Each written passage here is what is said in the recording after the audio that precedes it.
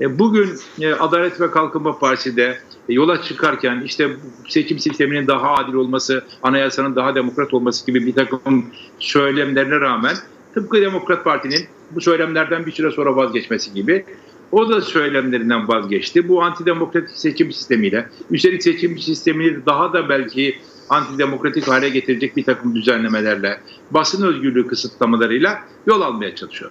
Bütün bunlar yani kitaptan çıkaracağımız ibret nedir derseniz e, bir iktidarın yapay yollara kalmak için yapay yollara başvurmaması, e, demokrasi kanallarını, itiraz kanallarını, değişim kanallarını açık tutması kendisinin de ülkenin de yararıdır. Yani bunun altını çizmeye, tarihten bir örnekle bunun altını çizmeye çalıştım. Bugün e, benim e, kitabı çalışırken de, yazarken de, şimdi işte arkadaşlarımızla paylaşırken de hüzün duyduğum nokta şudur ki, Türkiye çok ders almış gözükmüyor tarihinden, kendi tarihinden, kendi yaşadıklarından. Halbuki bizim 75 yıllık çok partili deneyimimiz önemli ibret verici olaylarla dolu. Eğer o eşiklerde yapılan yanlışlar yapılmasa bugün daha güzel bir Türkiye, daha demokrat, daha çoğulcu, daha sözünleri bir Türkiye olabilir ama e, bu yapay yollara başvuruldu ve geçmişteki yanlışlardan hiç ders alınmadığı için biz aynı yanlışları bu kez e, daha da vahim boyutlarda tekrar eder durumda kalıyoruz ne yazık ki. E, her siyasi parti özgürlük vaat ederek, katılım vaat ederek, çoğulculuk vaat ederek, daha fazla ekmek, daha fazla hürriyet, daha fazla adalet vaat ederek geliyor iktidara.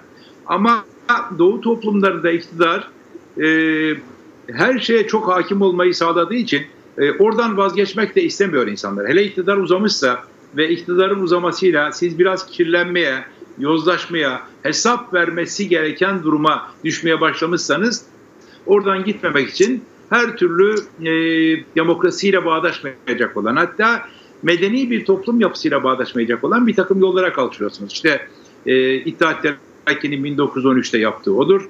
1957-60 arasında özellikle 59'da Demokrat Parti'nin yaptığı odur. Ve 2015'ten itibaren 13 14-15'lerden bu tarafa Adalet ve Kalkınma Partisi'nin yaptığı budur. Yani biz geçmiş yıllarda e, bu iktidarların sıkıştığı dönemlerde kaba kuvvete başvurduğunu hep görmüştük. Şimdi de kaba kuvvet yöntemlerine başvuruluyor gibi gözüküyor.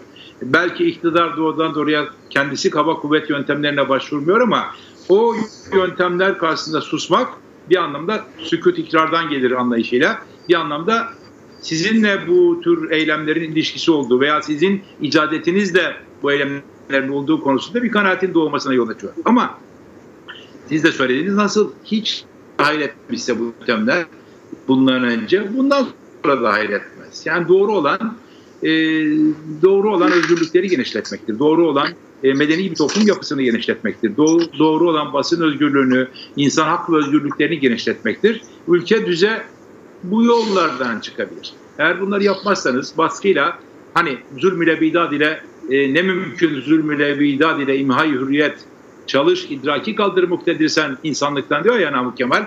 Budur yani işin özü budur. E, zulümle evet. bidat ile sonuna kadar e, bir iktidar abad olmaz sonu berbat olur.